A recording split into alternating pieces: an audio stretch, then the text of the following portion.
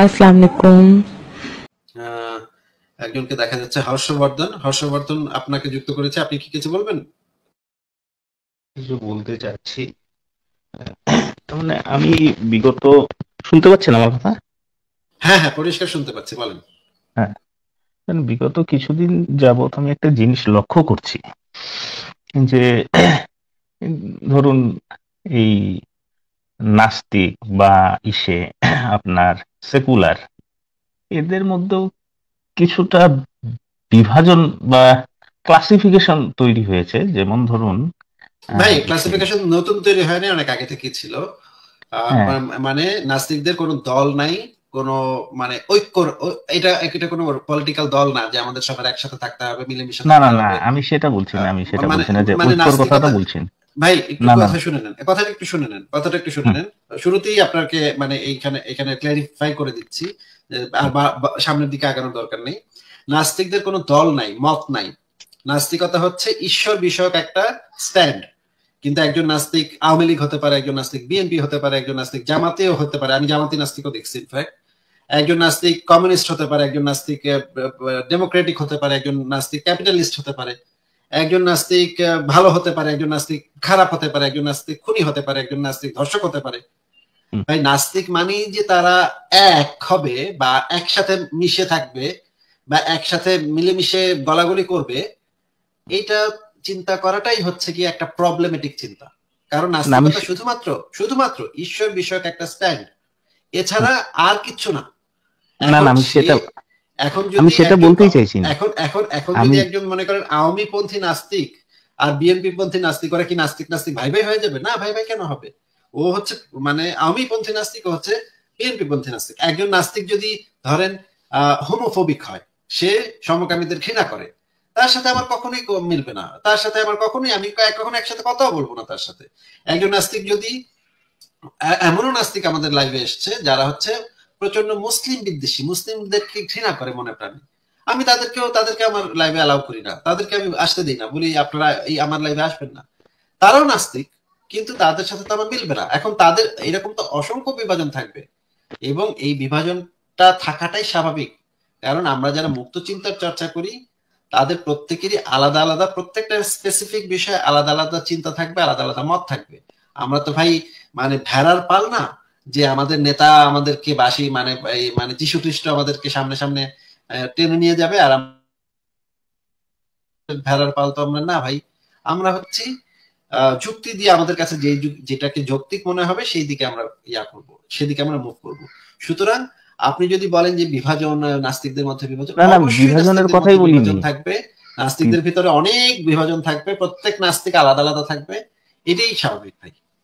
না আমি যেটা বলতে চাইছি বর্তমান আমি একটা জিনিস দেখতে পাচ্ছি যে পেইড বা প্রফেশনাল নাস্তিক বা সেকুলারিজম ই বেরিয়েছে পেইড বুঝতে পারছেন?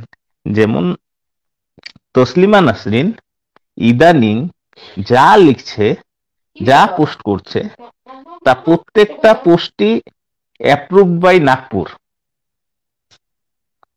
তার মানে নাগপুর মানে মানে আমি বুঝতে পারিনি অ্যাপ্রুভ বাই নাগপুর এটা কি?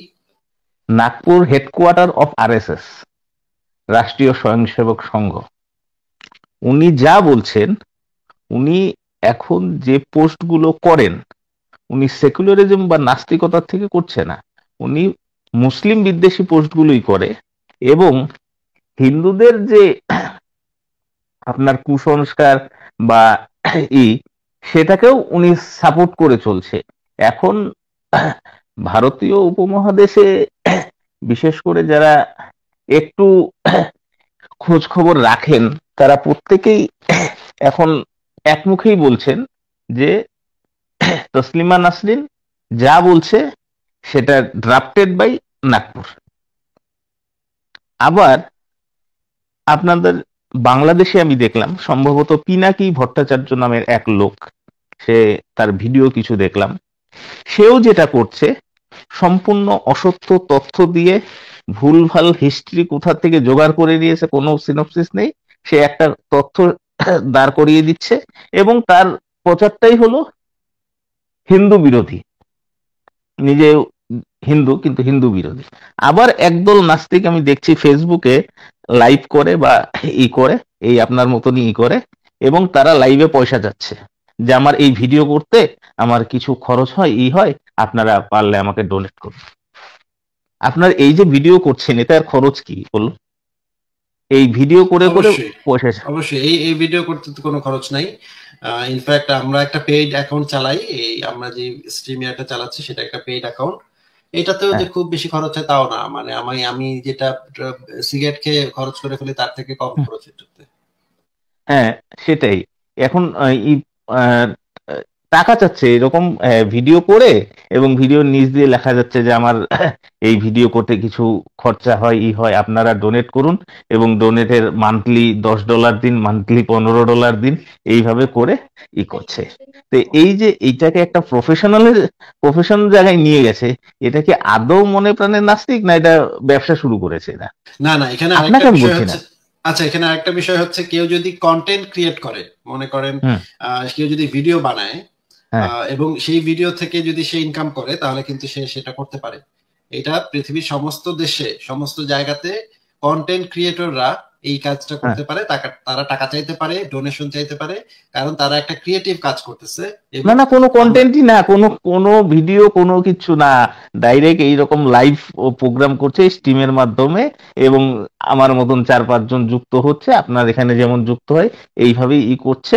হ্যাঁ কিছু সারাদিনে তার পেজের থেকে কিছু মিম শেয়ার করে কোনো নিউজ চ্যানেলের লিঙ্ক শেয়ার করে এটুকুই তার কাজ। তার বাইরে কোনো কাজ নেই তাদের। আচ্ছা আচ্ছা এরকম আমি আসলে এই বিষয়ে মতামত দিতে পারছি না কারণ আমি তাদের বিষয়টা যেহেতু ভালোভাবে জানি না তারা কি জিনিসটা তৈরি করছে এবং কি তৈরি করে কত টাকা চাচ্ছে তবে আমি তসলিমা নাসরিন এবং পিনাকি ভট্টাচার্য সম্পর্কে একটু বলতে চাই যে তসলিমা হ্যাঁ। নাসরিন এবং পিনাকি ভট্টাচার্যকে এক কাতারে তুলনা করাটা ঠিক আমার কাছে সঠিক বলে মনে হয় নাই কারণ তসলিমা নাসরিনের অনেক অবদান আছে বাংলাদেশে তিনি যখন বইগুলো লিখেছেন, তিনি যখন নির্বাচিত কলাম, বিশেষ করে, তারপরে আরও যে কয়েকটা বই আছে, সেই কয়েকটা বই যখন লিখেছেন, সেটা বাংলাদেশের অনেক মেয়েদের মধ্যে একটা বড় ধরনের সারা তিনি ফেলে দিতে পেরেছিলেন। এটা এই কথাটা সত্য। না ইতিহাস তার ইতিহাস আছে এটা অস্বীকার করার জায়গা নেই কিন্তু বর্তমান হ্যাঁ। পরিস্থিতির কথা বলছি। হ্যাঁ আমি একটু বলে নিই একটু শেষ করিনি শেষ করিনি যে ওনার যে সাহস ওনার যে অদম্য সাহস এটা কিন্তু অবশ্যই প্রশংসার যোগ্য এবং তিনি যে দমে যান নাই তিনি যে বাংলাদেশের মৌলবাদীদের যে ফতোয়া সেটাতে যে তিনি মাথা নত করেন নাই তিনি যে দমে যান নাই এটা কিন্তু অবশ্যই একটা খুবই প্রশংসনীয় একটা ব্যাপার। এবং এই কারণে ওনাকে আমি অত্যন্ত সম্মান করি উনি মৌলবাদীদের চাপের কারণে কখনো মাথা নত করেন নাই। কিন্তু ইদানিং আমিও দু একটা আমার কাছে দু একটা এরকম কিছু মনে হয়েছে যে উনি যখন এক মানে একটা স্ট্যাটাস লিখলেন যে যে কি ভারতেও যদি ধর্মরাষ্ট্র হয় তাহলে সমস্যা কি? এরকম একটা স্ট্যাটাস তিনি লিখেছিলেন। ভারতে যদি হিন্দু রাষ্ট্র হয় তাহলে সমস্যা কি? এই স্ট্যাটাসটা পরে আমি খুবই বিমর্ষ হয়ে গিয়েছিলাম। আমার খুবই আমি যেহেতু সারা জীবন লড়াই করেছি হচ্ছে কি ধর্ম নিরপেক্ষ রাষ্ট্রের পক্ষে এবং ধর্ম ধর্মকে যেন কোনো অবস্থাতেই কোনো এমনকি ইসরায়েলেও যেন ধর্ম নিরপেক্ষ রাষ্ট্র হয় ভারতেও যেন ধর্ম নিরপেক্ষ রাষ্ট্র ভারতে একটা সংবিধানে একটা অসাধারণ একটা সংবিধান যেটা বাবা আম্বেদকর উনি যে সংবিধানটা রচনা করেছিলেন জাতপাতের বিরুদ্ধে তারপরে হচ্ছে গিয়ে ধর্মনিরপেক্ষতার পক্ষে সকল মানুষের সমান অধিকার না না না ভারতের ধর্মনিরপেক্ষতা আম্বেদকরের সংবিধানে ছিল না সংবিধানের আচ্ছা। বিয়াল্লিশতম সংশোধনের। মাধ্যমে ইন্দিরা গান্ধী এটাকে ধর্মনিরপেক্ষ শব্দটা ঢুকিয়েছিল প্রস্তাবনার আচ্ছা, আচ্ছা, মধ্যে আচ্ছা আচ্ছা ঠিক আছে কিন্তু কিন্তু আম্বেদকরের যে সংবিধান ছিল সেই সংবিধানটার যে ধারাগুলো আমি পড়েছি সেই ধারাগুলোর ভিতরে স্পষ্ট ছিল যে ভারতে আসলে এই যে ধর্মীয় উগ্রবাদ, এটার বিরুদ্ধেই আমি দেখেছি। যদিও আমি এখন এত ভালোভাবে মনে করতে পারছি না।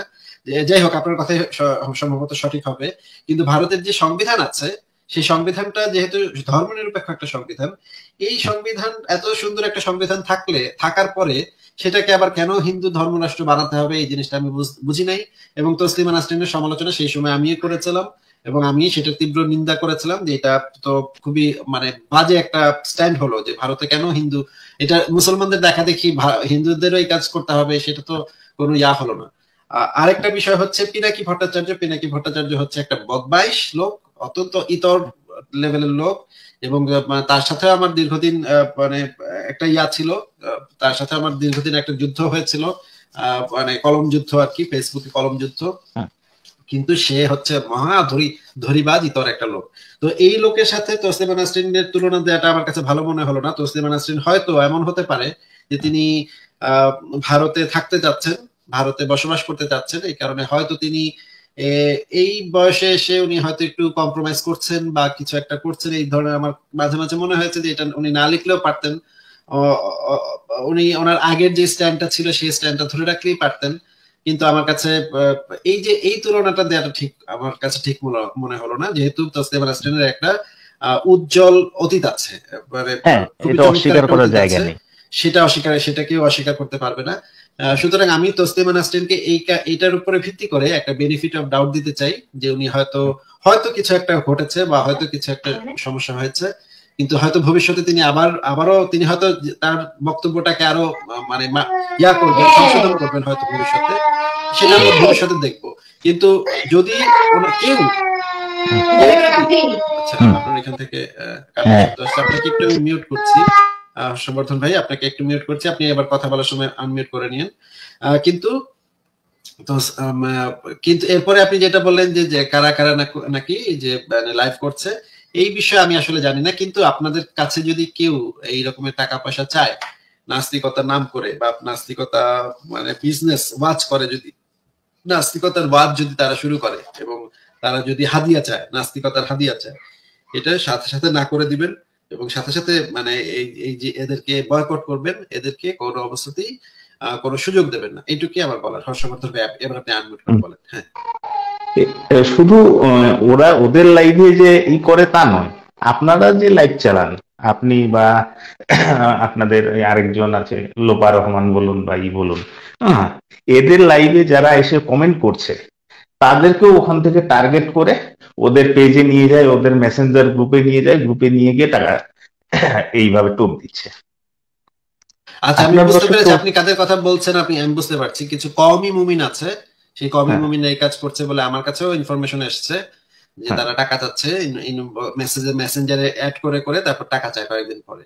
এই হ্যাঁ। এদের এরা তো ডিসগাস্টিং ক্যারেক্টার এদের সম্পর্কে আগেও সাবধান করেছে আবারও সাবধান করছে আমাদের দর্শকদেরকে। এদের সম্পর্কে সাবধানে থাকবেন এরা এরা মানে আমাদের এই লাইফ থেকে মানুষ সংগ্রহ করে। কমেন্ট যারা দেখা যায় যে কমেন্ট করতেছে তাদের তাদেরকে মেসেজ দেয়। মেসেজ দিয়ে মেসেঞ্জার গ্রুপে অ্যাড করে এবং তাদের কাছে কয়েকদিন পর টাকা চাওয়া শুরু করে। এদের থেকে সাবধান থাকবেন। ঠিক আছে ধন্যবাদ। ঠিক আছে ভাই আপনাকেও ধন্যবাদ। ভালো থাকবেন তাহলে হর্ষবর্ধন ভাই। আচ্ছা ঠিক আছে।